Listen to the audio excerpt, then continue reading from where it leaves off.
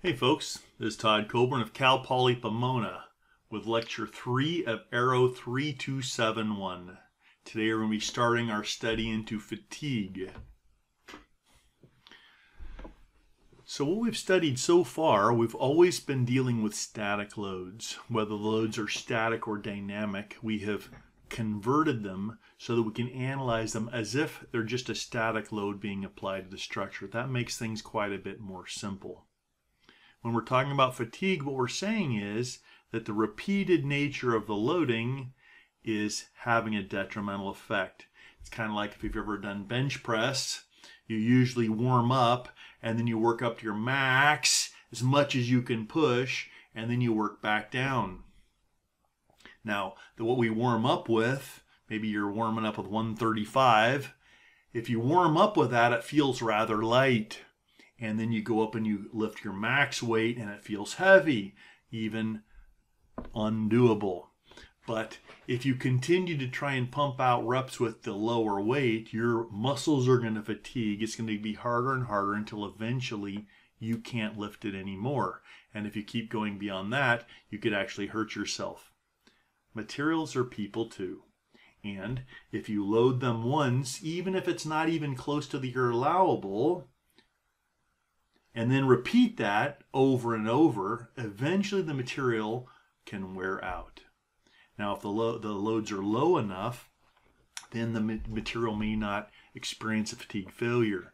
But even for rather low loads, we're going to find that materials can fail in fatigue. So we're going to be looking at loading that produces stresses that are variable and repeated and maybe fluctuating. We're actually going to develop this whole fatigue concept in a series of lectures. The first one on fatigue, then we're going to look at the endurance limit and a little deeper into that. We're going to look at how to handle when the stresses or have a different fluctuation pattern, and then we're going to look at how to put together different, completely different types of loading so we can analyze the complete fatigue picture. Okay? Now, this little sample here shows what a part looks like. This looks like a round sample. And if we look at this, we can see that it failed. It looks like all these little marks, these little ridges on the thing, looks kind of like the water at the beach washed up on the sand and caused these little ridges. And so these are called beach marks because it looks like those little ridges. And if we look at those beach marks, it looks like they're all emanating or coming from that point A. Looks like that was where they started. Maybe there was a little defect there. Looks like this is a threaded fastener or something, and it looks like there may have been a little defect at the thread. Then slowly, under over time, it was a, really slow at first, and it got faster and faster. You can see first it looks rather smooth and polished. That means that the progression of the fatigue failure was so slow as to make so it took a long time so there's hardly any difference between the different marks that's good as we go further into region B we see more and more pronounced beach marks which means even though it's growing slowly it's growing faster and faster then area C it looks like all of a sudden, instead of opening, the parts opening like this, first really slowly and then more faster and faster, and eventually just rips off like it pulled all the roots out of the ground. That's what that C section, that's where we have what's called fast fracture because it just ripped off. It's like just doing a static tension test where the material just rips apart, okay? So all this is slowly opening. Looks like the crack's getting bigger and bigger, and then suddenly it rips off the P over A, there's not enough area left for the P over A to withstand against like FTU. So stage one is where we have initiation. Stage two is where it progresses slowly. Stage three is where it kind of is fast fracture, just rips apart. Okay, we're going to look at these as we look at fatigue. We're actually going to handle fatigue. We're not really going to deal with the different stages other than be able to recognize some of those in parts. We're basically going to characterize our structure and loading against a myriad of test data. We're then going to look at a different approach that handles this, uh, which is called damage tolerance, which we actually look at some of these different stages. So we're going to have uh, three major, there are three major fatigue life models. Our stress life model, where we basically are looking at the stresses and how they relate to fatigue. This is called the least accurate of the three, but this is actually the one that most everybody uses because it's simple, straightforward, and it works.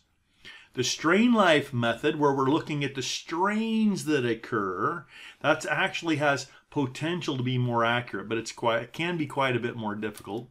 And then the linear elastic fracture mechanics method, also called damage tolerance. We're going to cover that after we finish studying fatigue. Okay? So basically, we're going to be looking at the stress life method in the next four lectures.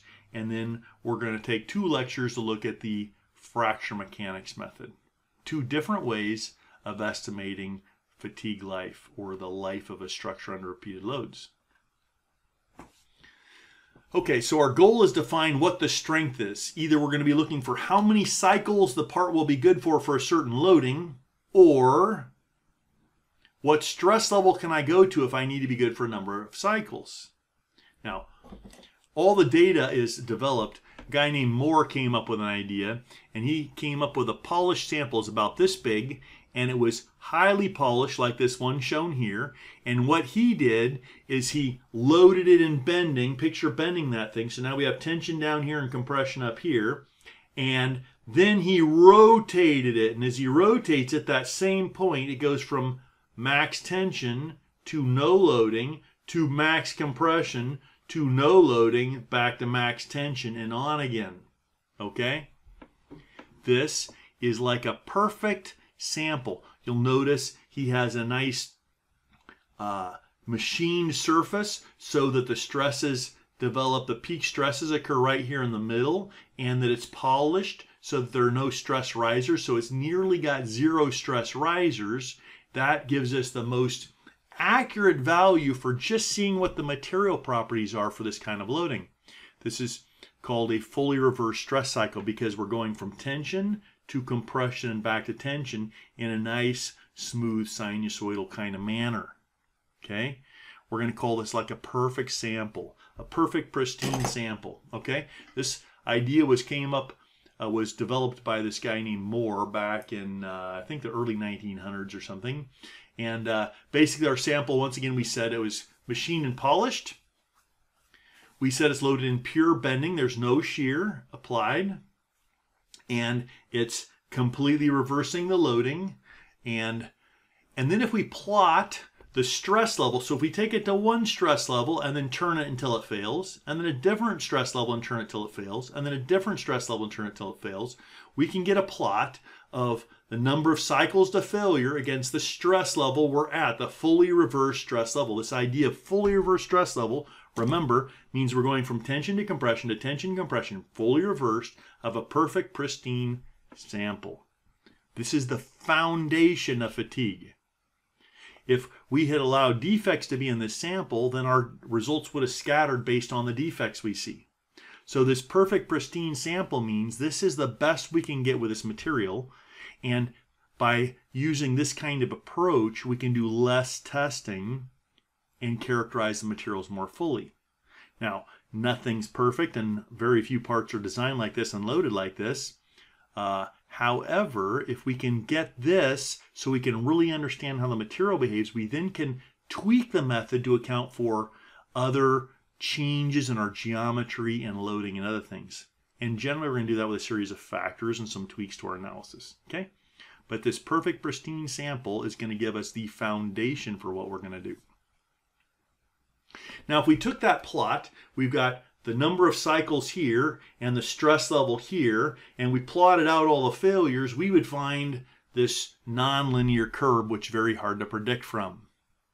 If we then plotted that, replotted that data on log-log paper, we would get a curve like what's shown down here from Shigley.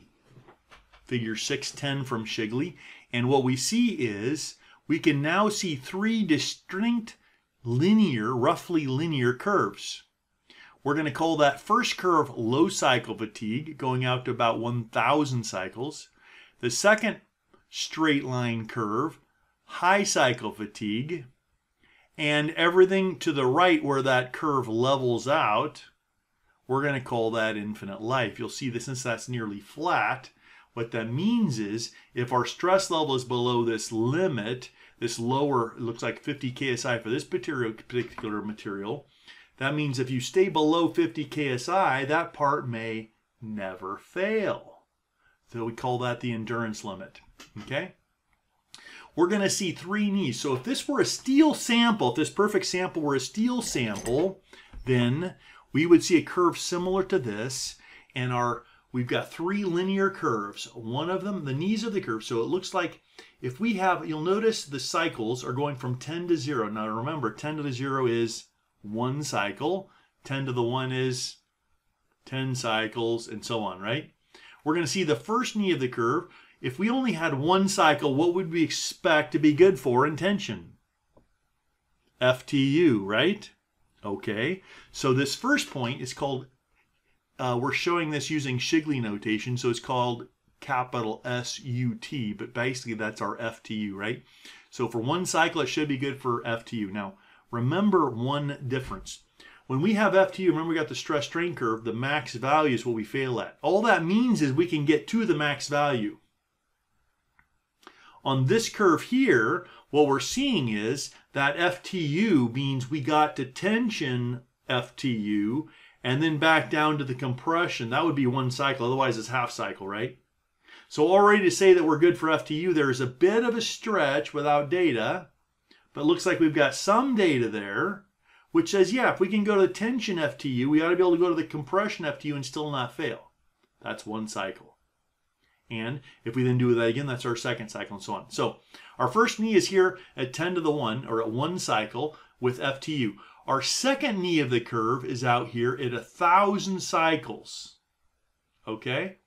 10 to the 3. You see that? A 1,000 cycles. That's where the next change happens and the next knee is out here 10 to the 6 cycles. Now you may look and say, well, hey, that's not 10 to the third cycles. That's something slightly different. Well, there are slight variances, but basically we're going to pretend that we've got three knees to a steel curve. 10 to the 1, which has FTU, 10 to the 3, 1,000 cycles, and 10 to the 6th. Now, at 10 to the 1, that's FTU. At 10 to the 6th, we're going to call that the endurance limit and we're going to use the sub the the nomenclature capital S sub E for the stress. It's a stress, and it's the endurance limit of the material, which means below that, at or below that, the part should last forever. That means it will be in heaven, still cycling after we die, if that were true. Now, whether or not you believe that, that's what this means, and that's what we're going to use or pretend to be true. Okay? And it seems to be mostly true within our lifetimes for what we try and test these materials to. Now at 10 to the third, then that means all we got to do is find what stress level does 10 to the third apply for. We're going to have a little approach I'm going to develop for figuring out what that is. Once we know these three inflection points, we then can characterize our fatigue curve in this manner. Okay? That's what we're going to be doing. We said that, we said that, we said that. So, some basic terms we need to understand. Okay, S sub E is the endurance limit. Remember, below at and below that, if we keep our stress level below that, the part should live forever. How many cycles is that? Infinite. S sub F is got the idea of fatigue strength. Now, fatigue strength is for a certain number of cycles. For example, if we only have one cycle, what's our fatigue strength? FTU. If we have a million cycles, what's our fatigue strength? S sub E. 5 billion cycles. S sub E is our S sub F. Our fatigue strength is the endurance limit in that case. If we have 10 to the sixth or more cycles, if we're good for that, then the endurance strength S sub F, or the fatigue strength S sub F, is S sub E. If we only have one cycle, that's the fatigue strength is FTU. And for any other point, we can look at the curve to determine what our fatigue strength is. For example, what is the fatigue strength at hundred, uh, 10 cycles? So whatever that is, right? Boom. What is the fatigue strength at a thousand cycles? It's right there. What is the fatigue strength at 10,000 cycles, right? And so on, and so on, and so on. Just read the curve. That gives us the fatigue strength. So the fatigue strength is associated with a number of cycles. The endurance limit is associated with 10 to the 6 cycles, and so on. Do you see how that works? Okay.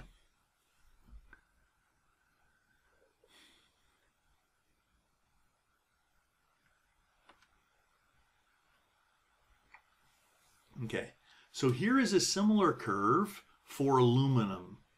We see, now this curve starts at 10 to the third or 1,000 cycles, so this is really only the high cycle fatigue range. And it goes from 10 to the third to 10 to the blah, blah, blah. And you'll notice the knee, while with steels we saw the knee was here at 10 to the sixth cycles, with aluminums you see it seems like the knee shifts and different aluminums behave differently. But it looks like for aluminums, that knee is somewhere at 10 to the 7th or 10 to the 8th. And if we look at the, the stress level at 10 to the 3rd, we see that ranges from about 30 KSI to about 80 KSI. Well, that looks like up here in the wrought alloys, that looks like about the FTUs we've been using for aluminums. What this implies to me is that there may be no reduction in strength for aluminums in the low cycle fatigue range. We're going to pretend that there is a reduction in strength, but it appears this data or the this curve suggests there may not be. Even though aluminums from this curve, it looks like they may have no effect for low cycle fatigue and that the endurance limit or the um, knee of the second knee of the curve occurs at a higher value than for steels, we're going to go ahead and use the same values of 10 to the third with some strength and 10 to the sixth for the endurance limit for aluminums, okay? All right, here is another curve. Now what this is showing is the endurance limit. So what they've done is they've gone and taken different steels, these are all steels here, and these steels being made differently have different FTUs, different allowables.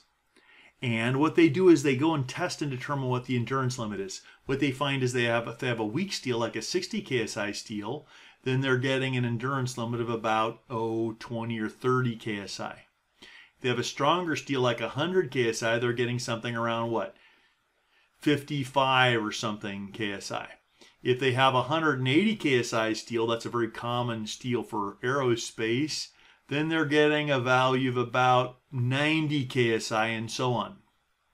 We see that although there's a lot of data scatter with this data, the data is roughly linear. That there seems to be a relationship, a linear relationship between tension strength on the horizontal axis and endurance limit. Now, that linear relationship seems to deteriorate once you get above about 200 KSI. It seems to deteriorate and doesn't quite follow the same curve. What this does is lead us to an approximation. What this means is, since we often have the FTU of the material we're going to use, we can estimate the endurance limit from FTU. And for steels, we're going to pretend that it's 50% of FTU. So if your steel is 180 KSI, your endurance limit will be one half of that. Now I want you to notice here that that endurance limit that we show, S sub B, has a little prime on it. What that means is this is the endurance limit if we actually had a perfect round sample loaded in pure bending going from tension to compression in a nice sinusoidal manner. Polished, perfect sample. This is the endurance limit for that sample. How many of these kinds of samples are on aircraft? None. So we're going to use this pristine endurance limit only this lecture, and then we're going to go on to come up with a better endurance limit that applies to our parts. We're always going to start with this perfect pristine endurance limit, and then we're going to tweak it, and I'll show you how to do that. Okay? So keep that in mind. So S sub B prime are the perfect endurance limit. Next, notice, because this curve seems to deteriorate above about 200 KSI, what this implies is if uh, that the this linear relationship only is valid to about 200 KSI. So what we're going to do is just say, okay, we'll use this 50% relationship all the way up to 200 KSI. And then we're not going to go any higher. So above 200 KSI, we're just going to use 100 KSI as our allowable. So we're just going to cut that off just to be safe, okay? This is how we're going to deal with steels. Now we're going to deal with it similarly but differently in aluminum and other materials. So before we go on to that, once again, this is what our our SN, this is called the SN curve because S is the stress and N the number of cycles. Now, I've trained you guys now so you know that the allowable is generally capital F. But when they're talking about fatigue, it's pretty universal to use S for the allowable stress level. What that means is this is called the SN curve. Remember here we have a low cycle fatigue range. That's going from 1 to a 1,000 cycles. And a high cycle fatigue range, which is going from a 1,000 to a million cycles. We have the finite life range, which means it's mortal. It will die just like you and me, going from 1 to a million cycles. And the infinite life range, this is from 10 to the 6 onward, that means uh, that will part will live forever. You need to understand those things. Here's our approach then. We're going to say, okay, the fatigue strength, we're going to start with, we're going to need the fatigue strength at each of these inflection points. The fatigue strength, if we have one cycle, should be FTU. That's pretty simple and straightforward. Okay. And if we next go to this place of where we where we have the first knee of the curve, if we just say, okay, let's just define this as a fraction of FTU. So we already are used to using FTU for a lot of things. Let's keep using that FTU and let's come up with a factor we just apply up against it. We'll call it lowercase f. Now you got to be careful because in our class, in aerospace, lowercase f typically means calculated stress. In this lecture, this is the fatigue strength fraction, okay? Fatigue strength fraction. That's not the applied stress, it's the fatigue strength fraction. So if we just come up with a factor, a little f, that we're going to apply to FTU. Now, if we have a steel, what we're going to do is go to this curve down here and read whatever is on the horizontal axis. We've got FTU of the material. So you go to the FTU of the material, and you can read what the fatigue stress fraction is. Okay? Now we're not going to use this curve because I've curve fit it for you. If you read this curve, your numbers are going to be all over the place. I'm going to expect you to use this curve fit that you'll see at the top of the curve, and it's in your handbook. The little stress fraction is you just plug in your FTU into this polynomial. That SUT is just FTU in disguise. So you plug into that equation and you'll get the stress fraction and you'll apply that to your FTU. You got that? Uh, now, once again, actually, we'll talk about this next time, but for this stress fraction is for steels. If we have anything else, we're going to use something else. We're going to use 0.9 for aluminums and titaniums rather than this table. This table, this equation is just for steels. Okay. Next, we have the endurance. At, at 1 million cycles, remember, we should be good for the endurance limit. And for steels, we know that it's our endurance, our pristine endurance limit is half of the FTU. For aluminums, we're actually going to look at this further next time, but we're going to use 40% of FTU. And for other materials, you will check your handbook. It's got a little table for what fraction of FTUs to use and whether or not there's a cutoff, okay? So since our curve, you see between our first inflection point and our second inflection point, we have a straight line. So we can actually write the equation for that line that's given here. The fatigue strength is just a coefficient A times the number of cycles to the B power, where A is the intercept and B is the slope. The And if we rearrange that to calculate the number of cycles, we get this equation here, where our a, the intercept, is obviously just FTU, and the slope we can define, I've calculated for you, is just one third of the log base 10 of that strength fraction F. Okay? So if we have a stress level above F times FTU, or if we have a number of cycles less than a thousand, we will use this equation, this low cycle fatigue equation. If we're in the second part of the curve, if we're in the high cycle fatigue range, you'll notice our two inflection points are FFTU and the endurance limit. So we're going to use the exact same uh, equation, but now we're going to get different coefficients because the same is still a straight line on a log-log curve, but now our intercept is up here at FFTU squared over S sub B, and our slope is this value here. Once again, this F is the strength fraction and not the F and not the calculated stress. What students tend to do is they forget to square that FFTU term. A lot of times they'll say F times FTU squared rather than the square of FFTU.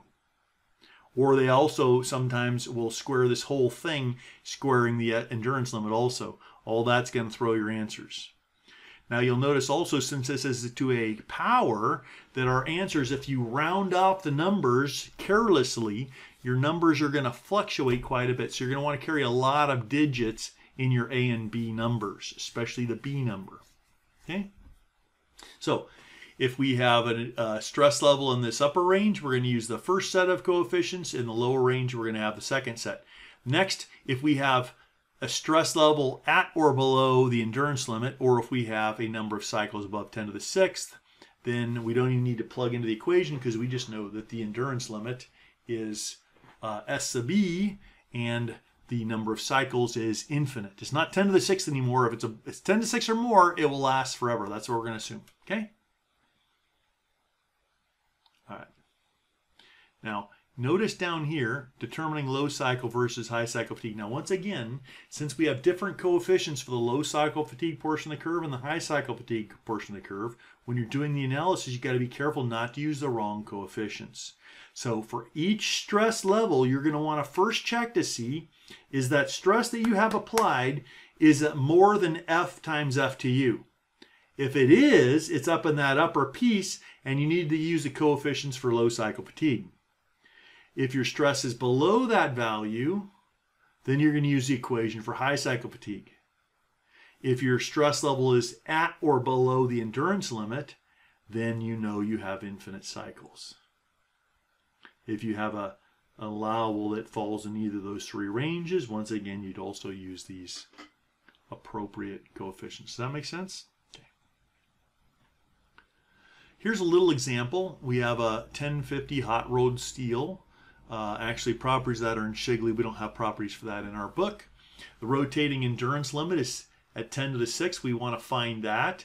We want to find the endurance strength of the polished sample for 10 to the 4th cycles and the expected life if we have a fully reversed stress of 55 ksi. This is pretty straightforward using what we have in the book. First, we need our strength fraction. We go to this curve here. Actually, you're going to use the polynomial. Then we calculate, we estimate our strength. We take 50% of the FTU, that's 45 KSI. That's less than 100 KSI, so it's valid. We then calculate our coefficients A and B, and then we plug those coefficients into the one equation to calculate the number of cycles, the stress level for 10 to the 4 cycles, or we can plug them into the equation with 55 KSI to calculate the number of cycles. Does that make sense? Using those equations there. What this is doing, now we're not going to do a lot of this but with this, but actually what we see here, we have a round sample. Our leftmost sample is round. And if we load up that, so that if we, let's say it's polished cylinder, and if it's a polished cylinder, if we load it up under this fully reversed bending, eventually it's going to fail if our stress is high enough. And what we will see is beach marks that look kind of like this. If we had had a square sample, a rectangular sample doing the exact same thing, our failure would look like what's down below that. Now, if we have in the second figure, we see this little stress concentration. If we had a little groove in our shaft, it's going to change the way our beach marks look. If we have a sharper groove, it will change it even more.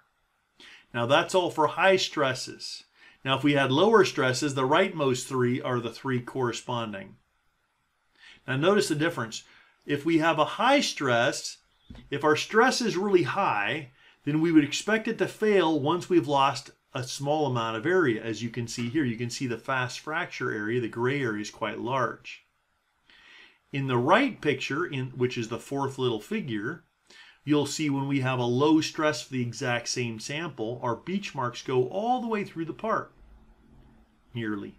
And because the stress level is low, it doesn't fail fast fracture until a very small part of the area is left. That's how we can tell it was a low stress because actually there's a small area left with fast fracture. If it had been a high stress, it would have failed while we still had a large area like in the leftmost one. The lower set of curves shows how that looks for rectangular samples. This set of curves here shows how it looks for bending, unidirectional bending, and for fully reverse bending. This shows how it looks for torsion, okay, and for rotational bending, okay? So we're actually not going to do a lot with this, but you can kind of study this if you have a lot of interest.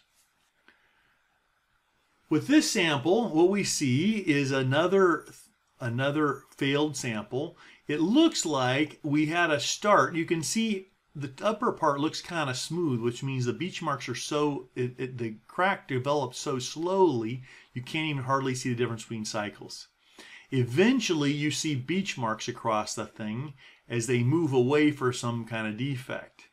Okay, so the actual initialization stage was up here somewhere around B, and then beach marks happened very slowly, then it happened faster, and then it looks like we fast fractured at, at C, at that small little area there. Okay. Here's another example. This is a piston. You can see it looks like they have a little defect at the far left. You got beach marks growing from there.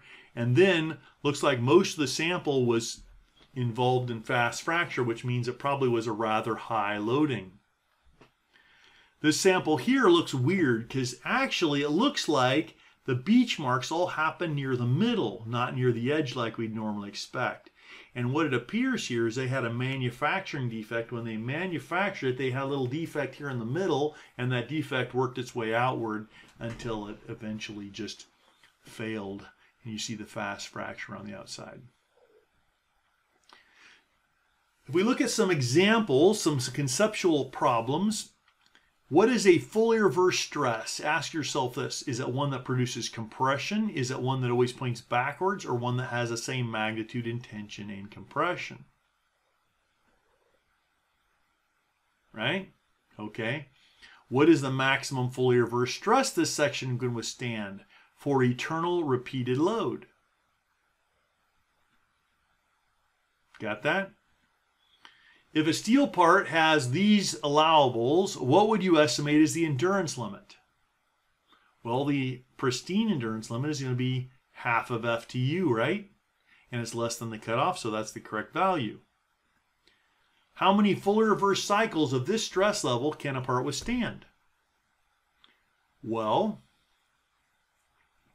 for in the endurance limit and below, it'd be infinite, right? Infinite life, supposedly. What is the endurance limit for aluminum? Now it appears that aluminum has no endurance limit, like it keeps on dropping, but we're going to go ahead and use a factor of about 40% of our FTU, okay? If an aluminum part has these properties, what would we estimate as the endurance limit? Well, you take 40% of FTU. Now, one word of warning we're still using S sub E as the pristine value because we haven't learned to convert the endurance limit from that perfect value to a realistic value. We're going to learn that in the next lecture. Okay, that's all that I have. Make sure you study this carefully. We're going to be building on this idea in the next three lectures. We're going to be using everything we found here, but we're going to be modifying it to be making it better. That's all I got. Enjoy.